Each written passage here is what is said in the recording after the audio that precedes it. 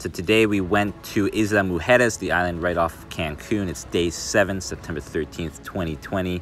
Uh, we took the Ultramar ferry, which is about 20 minutes to get across the island, $13 per person. I think there used to be an older ferry, but I think only Ultramar is right now uh, ferrying passengers during COVID. Uh, you need masks on to enter the port and get on the boat, but once you're, you're there, you can take your masks off. Uh, had a very enjoyable ride, so blue the water, it was really nice. There's a guy singing to us at the end, just collecting tips at the very end. Uh, very, very nice, very gentle. And here's the port once we arrived in Isla Mujeres. Oh man, such a such a nice place. Uh, lots of lot, very active town. You know, store vendors everywhere, restaurants everywhere. Uh, and much a much more gentle spirit here. I feel like much more laid back, which we appreciated. Here's our hotel entrance.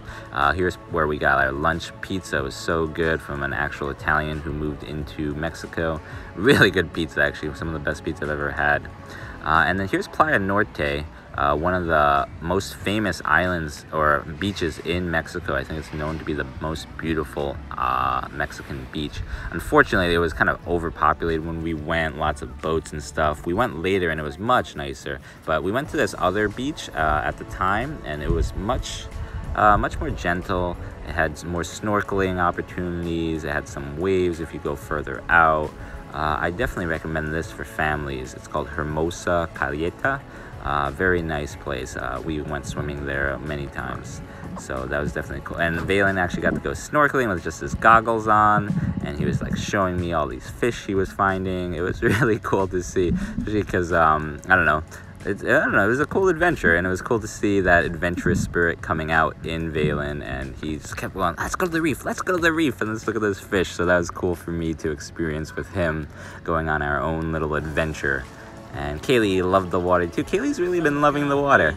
Uh, just, maybe just because it's so hot, so it cools her off. Uh, here's Al Natural. Uh, this place is really good, right outside our hotel. Got some dollar, uh, even less than dollar tacos. They were like 15 pesos each, which is really cheap. Here's a shop we went to. Many shops around. They're all kind of selling around the same stuff. And you got to get have your uh, bargaining hat on. Okay, and then we did round two of tacos. We went to this other place. Uh, also, really good tacos. Um, but yeah, actually, one of the tacos we got was like super greasy. I forget what it was called. But actually, Sunmarie and my dad ended up getting some kind of like food poisoning, or I don't know, they were throwing up. They had some diarrhea going on too. It, that was the place. anyway, really good tacos. Just stay away from the, the greasy ones. I think the Mexican sausage chorizo ones.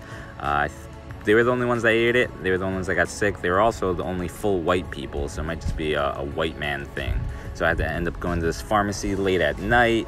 And uh, yeah, I had to go to like all these 24 7 places that weren't actually open, and the pharmacies were open. You just kind of had to knock, and they, get, they gave us Tums. Somebody couldn't take Pepto Bismol because she's breastfeeding. But yeah, that was an interesting adventure. Hope you enjoyed the videos. Keep watching. See you later.